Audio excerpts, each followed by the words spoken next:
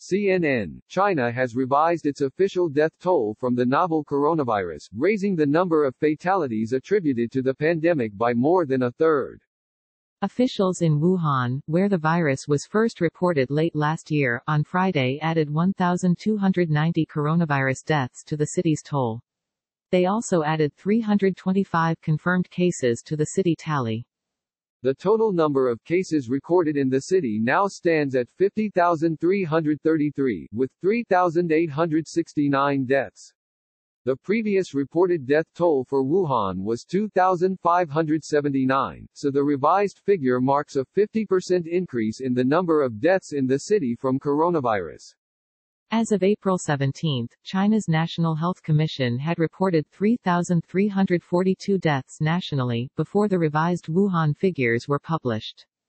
Officials explained that the deaths had initially gone uncounted because in the early stages of the pandemic some people died at home. Overwhelmed medics were focused on treating cases rather than reporting deaths and due to a delay in collecting figures from various government and private organizations.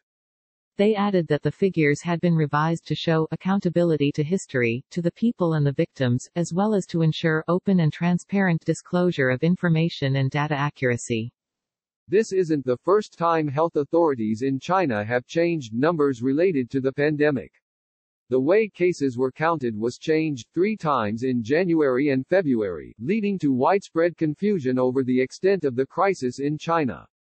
Experts have also previously raised the alarm over China's approach to measuring asymptomatic cases.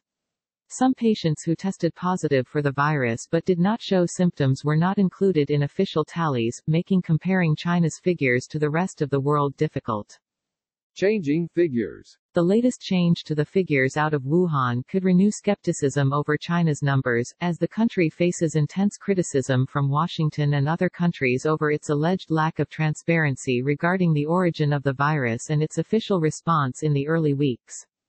According to a report by the Associated Press this week, based on leaked documents from a confidential teleconference with China's National Health Commission, China's leaders allegedly failed to notify the public about the looming crisis during a critical six-day period, despite their internal evidence painting a dire situation.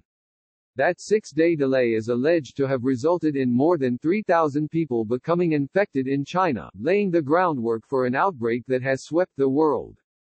The internal documents show that even as officials were downplaying the potential risk of the virus in public, a top Chinese health advisor warned it was the most severe challenge since SARS in 2003 and is likely to develop into a major public health event.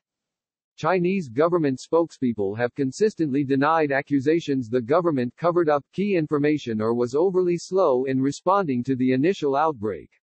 But U.S. President Donald Trump has criticized China's lack of transparency, when announcing he was pulling funding for the World Health Organization, WHO, this week, though he had previously praised Beijing's response.